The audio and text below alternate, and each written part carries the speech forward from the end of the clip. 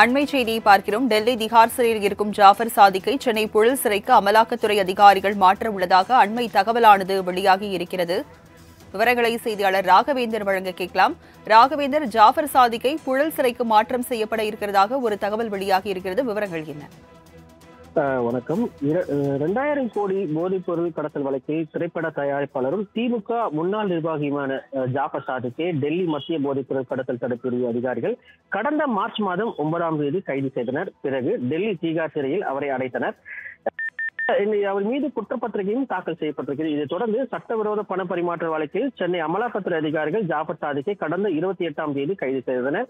இந்த கைதை எதிர்த்து ஜாபர் சாதிக் சென்னை உயர்நீதிமன்றத்தில் வழக்கு தொடர்ந்திருக்கிறார்.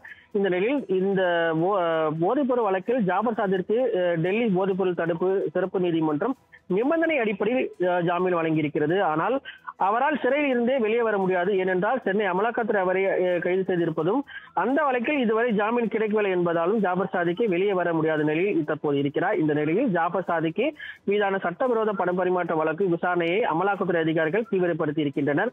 குற்றப்பத்திரிகை தாக்கல் செய்வதற்கான நடவடிக்கையில் அமலாக்கத்துறை அதிகாரிகள் தீவிரம் காட்டியும் வருகின்றனர்.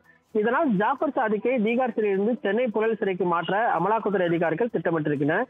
டெல்லி வழக்கில் ஜாமீன் கிடைத்து விட்டதால் சென்னை சென்னை வழக்கில் தான் தான் சிறையில் சிறைக்கு இருக்கிறார் இதனால் சென்னை புழல் சிறைக்கு அவரை மாற்ற அமலாக்கத்துறை அதிகாரிகள் ஆலோசித்து ஆலோசித்து திட்டமிட்டிருப்பதாகவும் தெரி- தெரிய வருகிறது மேலும் அஹ், சென்னை அமலாக்கத்துறை அதிகாரிகள் தான் ஜாஃபர் ஜாபர் சாதிக் மீது வழக்கை பதிவு செய்திருக்கின்றனர். அதன் அடிப்படையில் இந்த நடவடிக்கை மேற்கொள்ள இருப்பதாக அமலாக்கத்துறை அதிகாரிகள் தரப்பில் தெரிவிக்கப்பட்டிருக்கு.